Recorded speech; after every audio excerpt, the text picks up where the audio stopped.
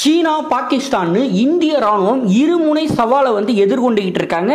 இந்த சூழ்நிலையில இரண்டு நாடுகளுக்கும் பதிலடி கொடுக்கக்கூடிய வகையில எல்லையில நூத்தி இருபது எண்ணிக்கையிலான சக்தி வாய்ந்த பிரளய் ஏவுகணைகளை வந்து டிப்ளாய் பண்ண இருக்கிறாங்க.